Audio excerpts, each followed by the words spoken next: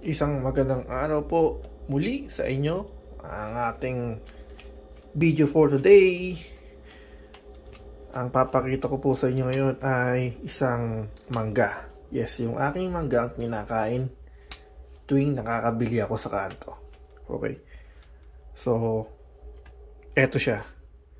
Yan yung mangga na aking kinakain dito. So, ang laki niya. So, nung una, hindi ko siya pinapansin kasi akala ko apple mango eh. Kasi kita, para siyang apple mango para sa akin. So, ang sabi doon, uh, isa siyang klase ng mango, Indian mango from the Mexico. So, they call it uh, Mexico mango. Okay? So, ito siya. At meron pang isa. So, ngayon ko lang siya halos na na-appreciate kasi ang sarap ng lasa niya. I mean, hindi siya maasim na maasim. Siguro baka yung yung medyo hilaw or medyo green, yung siguro medyo maasim but uh, o, almost na nakikita ko medyo red siya or I mean, para siyang apple mango talaga eh. Pero yun nga, talagang pang market siya kasi matamis. Okay? So, try natin buksan ngayon. Ito. Itong ating Mexican mango. So, yun guys, ito. Ito na siya. Ito yung ating Mexican mango. Na, na. Yung sounds pa lang niya, oh. Talagang malutong na malutong. Ayan. Okay, so slice na natin siya and then tara. Kainin na natin siya.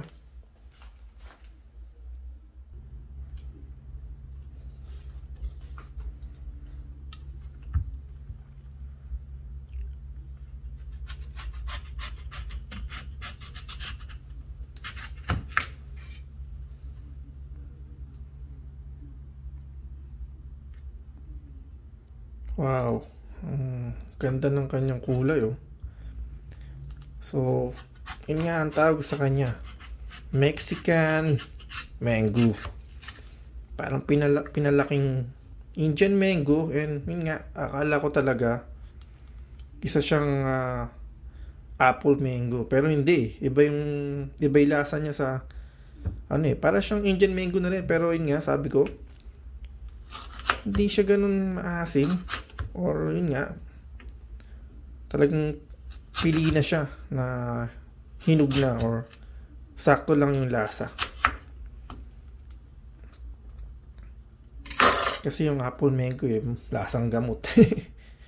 Okay. Ito siya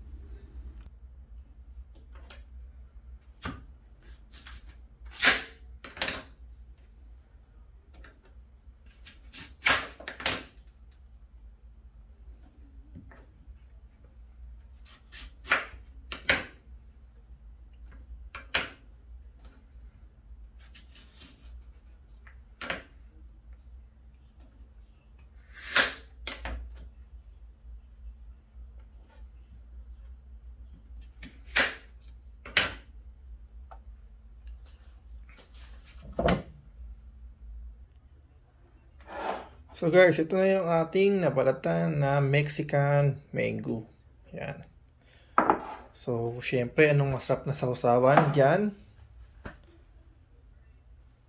So, dapat meron tayong bagong. At, syempre, meron akong bagong. Ito, buenas. Buenas kaya tayo o hindi?